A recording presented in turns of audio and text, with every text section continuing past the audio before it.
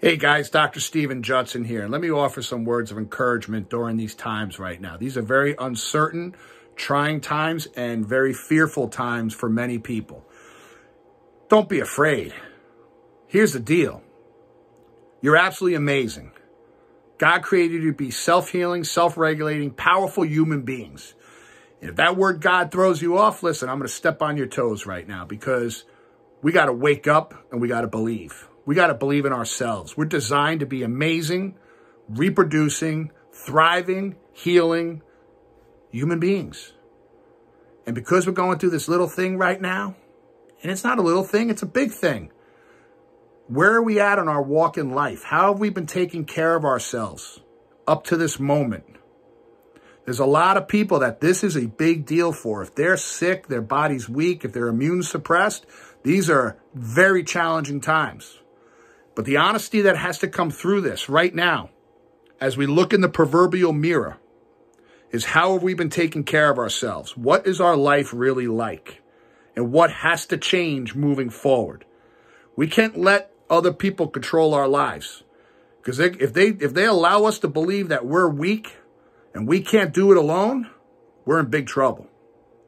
But when we wake up and realize how amazing our human body is, our nervous system controls and adapts to every stressor that's out there. If it didn't, you would already be dead.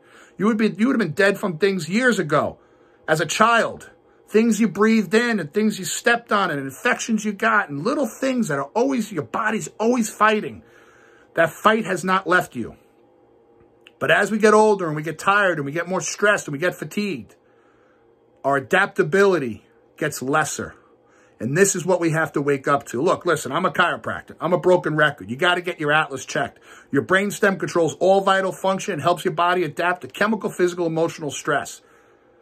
You don't have to believe in it, but you got to do it. Just like you have to eat well, keep yourself clean, keep your mind open and free of stress, because stress is always coming at us. But if your nervous system is not adapting and your cells in your body can't fight off different viruses, bacteria, cancer cells, they're going to live inside of us. Listen, flies and maggots don't go to a clean garbage can. They go for the dirty ones. The reality check for us is how dirty is our life inside and what can we change? Because you're awesome. And you can make positive changes right now to clean up our life and not live a life of fear.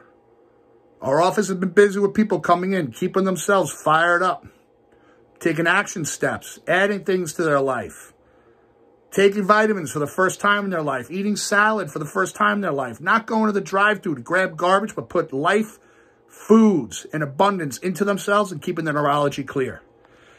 We got this, people. We will come through this. Let's do it together. There's a lot of people hurting out there. We need to reach out to them. We need to be there for them. They need love, but they need action steps. It's time for massive action and for people to take their life and health back and not live a life of fear.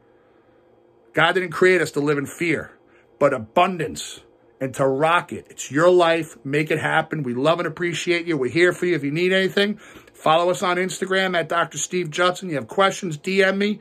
We're here for you, people.